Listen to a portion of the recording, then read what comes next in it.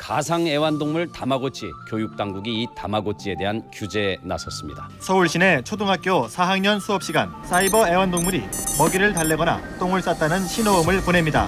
어린이들이 다마고치에 열중하는 이유는 마치 살아있는 동물을 대하는 듯한 느낌을 받기 때문입니다.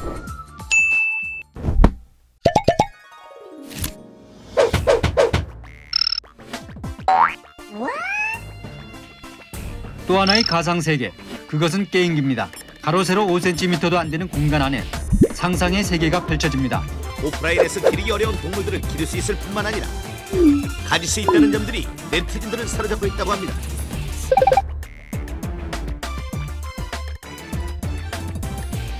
동물이나 고양이 키우고 그리고 이제 공룡 그런 게 다마고치 갖고 놀아보거나 갖고 있는 사람 한번 손 들어볼까요? 똥치고요. 키면요. 막 실감이 나요. 애완동물 키우고 싶었는데 못 키우니까.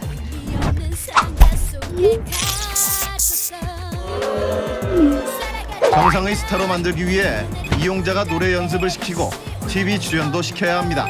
2주 안에 인기 순위 1위에 올려놓지 못하면 그룹이 해체되고 게임이 끝납니다. 우리나라는 물론이고 세계 각국의 어린이들이 이걸 갖고 학교에 가서 수업이 제대로 되지 않을 정도라고 합니다. 교육부는 오늘 다마고치가 학교 수업과 인성 발달에 지장을 준다고 지적하고 전국 시도 교육청에 학생들의 다마고치 휴대를 금지하도록 지시했습니다. 화장실 가가지고요.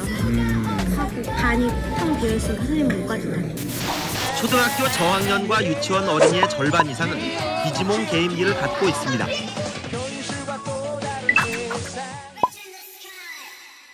집과 학교, 학원, 어디서든 아이들은 디지몽에 매달립니다. 자신의 분신처럼 키울 수 있는 사이버 애완동물 기르기 게임 어린이들과 여성들 중에서 다시 인기를 얻고 있습니다. 대짓는 소리, 냄새, 빠지는 털로 애완동물 키우기가 겁난다고요?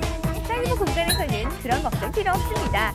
바로 사이버 애완동물이 있기 때문이죠. 얼마나 컸나 보자. 아이고 자고 있었어. 밥부터 다.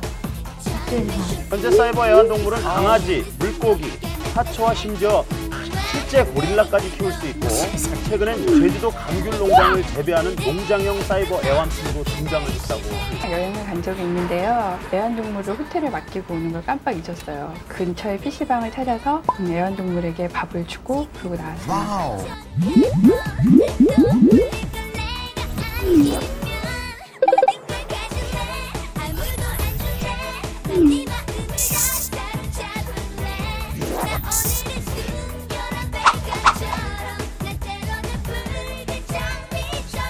다양한 애완동물을 키울 수 있게 됐습니다. 훈련을 시키면 애완동물 경연대회에서 상을 타오기도 했는데요.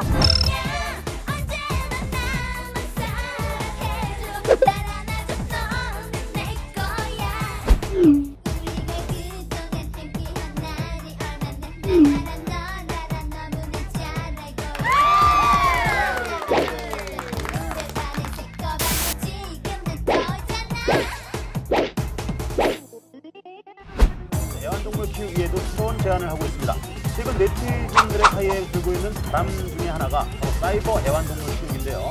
몇 년 전 큰 유행을 일으키며 사회적인 문제가 되기도 했던 가마고치가 사이버 애완동물의 원조이기도 합니다.